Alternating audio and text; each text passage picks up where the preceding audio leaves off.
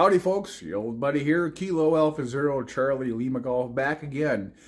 Uh, we're going to do kind of an extensive video here. It's going to be uh, regarding uh, the ICOM IC7300 and the software I've ran through in the past couple of videos, FL Digi, FL Rig, WSJT-X. Got it that time. Um, having problems. Um, they were both installed on the same computer uh, under the same profile and was having issues, I think, I'm not sure, with one of them taking over one of the COM ports, or in Linux, that's a DEV port, DEV slash whatever. Anyhow, um, I have an idea of how I can separate all that. It's probably a goofy idea, but I'm going to try it because, you know, it's experimentation. So let's go ahead. We're going to just reload everything, and this time we're going to detail as uh, as much as I can so you can, uh, if you're having trouble and you've got a, a setup similar to mine, hopefully I can help you out and help me out at the same time. So let's go ahead and get started and let's go ahead and uh, make it a good one. There is old Lazy Bones. What's going on, kitty? Okay, so when you're talking digital modes, all that jazz, and your HF equipment, everything starts with software, in my opinion. So let's take a look. We're going to start here. So here's the Raspberry Pi 400, and this is where the software goes. There's a port in the back, right there, right there. So what I did is I have two of these a little, a little SanDisk basically. So, so it's a little tiny, can't focus in, 32 gigabyte SanDisk. And I have two of them, one, two. Here's the kind I buy. These are pretty good. Uh, they're like 15 bucks.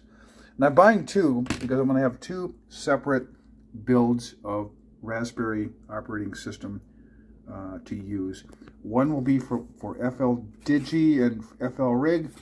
This will be for WSTJX. So that's how we're going to separate this out. So let's just take, do a quick look on how to load software on these and we'll move on to the next thing. So to format one of those little mini SD cards, you do need a, a you know, either an SD card reader or, you know, when you used to, it's a flash drive, you'd shove it in the computer. This doesn't have any of that. So I pre-installed those already.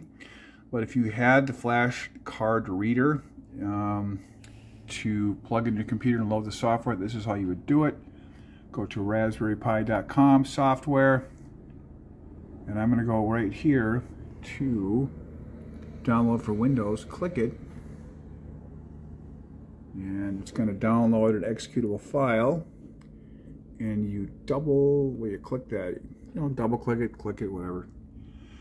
And it's going to come up. There it is. Yes install it. And install the software. Let it go. And finish. And it's going to come up with a load. So what you're going to do is choose your OS. And I chose this first selection. Come on. Nope, wrong, wrong, wrong, never mind. I went to other, wrong. This is a 64-bit. Oh, look at that.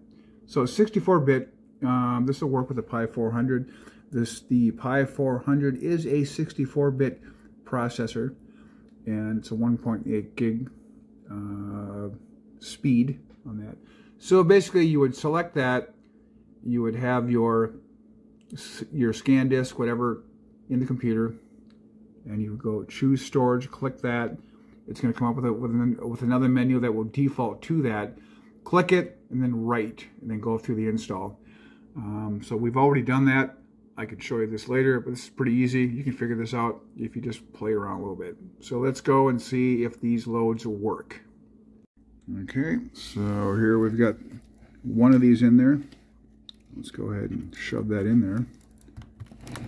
It's in there. Whoop. Okay. Let's plug in the power. Green light is on. And up comes the screen. This is where I find out if I loaded the right OS for this particular computer. I believe I did. Oh yeah, it's going. So it's a booting up. Come on, come on, come on. Please work. I think I did it right. Like, who wants to sit here and watch this go on? Dude, pause your camera, let it load, come back later. Okay. And whammo, it worked. So we're going to hit next. Go through some of these screens, but not all of them. So here you select United States, where you're at, um, English, all that. So we're going to select all that. I'm going to get to probably a dialog box and I'm going to name it a certain name so that I can know what's what. But uh, so that worked. That option worked. Uh, the download install uh, was the right one for the Pi 400 and we're good. Okay, I think we're good. Let's zoom back a little bit. There we go. And let's just change this desktop to something else. So we're going to change the background of this to be, let's do Aurora up here. And let's go down here to open and okay. So this will be the FL Digi um, profile.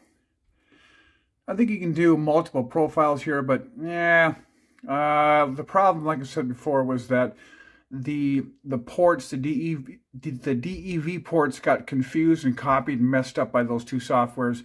So we're going to keep this completely separate. So that first build is done.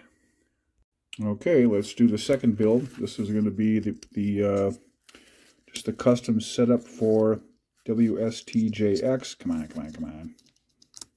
There it is. Same thing. Another 32-bit little tiny SD card. I'm going to put that in here. Get in there. Come on, come on, come on. Shove it in there. Okay. And let's go ahead and turn this thing on. Okay. We've got the green light. I do believe, I do believe, I do believe this is going to load as well. And the second load is a success. And this is some of the parameters. United States, English, English language, all that basic stuff. Next. And we'll get this one set up. And we're good there. So let's go ahead and change this desktop picture. It's just, it's probably not necessary, but I just think it's cool. So we had Aurora for the, what's going to be the FL Digi setup for the WSJT. Ah, let's try, yeah, yeah, yeah. Which one, which one, which one? Lasers. That's going to suck. But it's just an example. Oh, yeah. That's WSJT all the way. Okay, we're all set up now. And we now have two separate loads of Raspberry Pi. Uh, one for FL Digi, one for WSJ, WST, whatever it is the other one. And uh, so now the next step is going to be to set the rig back up, reload the um, the firmware update, and clean this back to clean this whole system up back to um, a fresh build. So the ICOM IC7300 has its little SD card down here. Let's it out. And these are the biggies. Um, you don't need to use these, but uh, what we got in here? It's a 32 gig, you know, big size. You can use these uh, these small ones with, with these adapters, but I bought this one for the rig, so that's what we're going to use. So I already have the firmware, the 1.41 firmware on here, and I'm going to go ahead and just reload all that. So shove that in there. Okay, there it is. And the firmware load is menu set. And you want to go ahead and arrow down to SD card, firmware update. Yes, yes, whatever. I'm going to just do this one. And so that's a 1.41. You hold this down and that resets it. And voila. So that's the preliminary setup. The software for the computer, um, setting the ICOM IC7300 to the 1.41 update, firmware update 1.41, version 1.41. And any changes I made, just wipe that all out and start all over again. That's what I'm doing here. so now we've got the foundation set up. Next thing to do is to be is to install the software. That'll be in the next video coming soon. Yeah, sure, it is. Yep.